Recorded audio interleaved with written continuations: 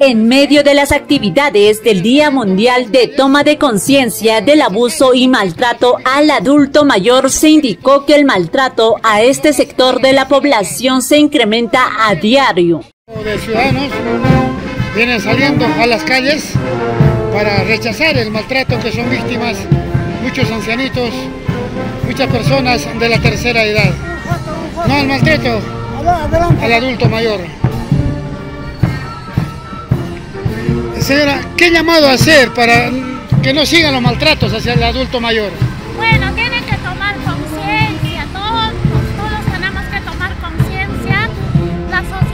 En ese sentido, Celina Peralta, representante del Centro de Adulto Mayor de Juliaca, señaló que recibe varios casos donde los adultos mayores son vulnerados en sus derechos. Por ejemplo, sostuvo que este sector de ciudadanos son desalojados de sus viviendas por sus propios hijos. En algunos casos también reciben maltrato físico y psicológico y simplemente los dejan en abandono. Bueno, el caso preocupado hasta el momento es de un adultito que vive por pasando el puente de Independencia. ¿Cuál es su Que, que sus hijos trabajan en un colegio famoso de acá de la ciudad de Juliaca y lo quitaron su casa. Y el juez le da toda la atención, le ha dado prácticamente la razón a la hija y lo ha desalojado al adulto. En este momento está en desalojo. Desalojan a su propio padre. Exactamente, está viviendo en una comunidad donde no tiene luz, donde no tiene agua y el abuelito ya tiene ya, ya va a tener 80, no, 85 años.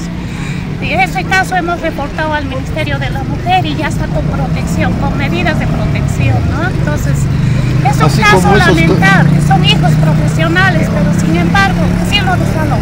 En tanto, una de las afectadas dijo que también son víctimas de maltrato por las empresas de servicio urbano, quienes se negarían a recogerlos.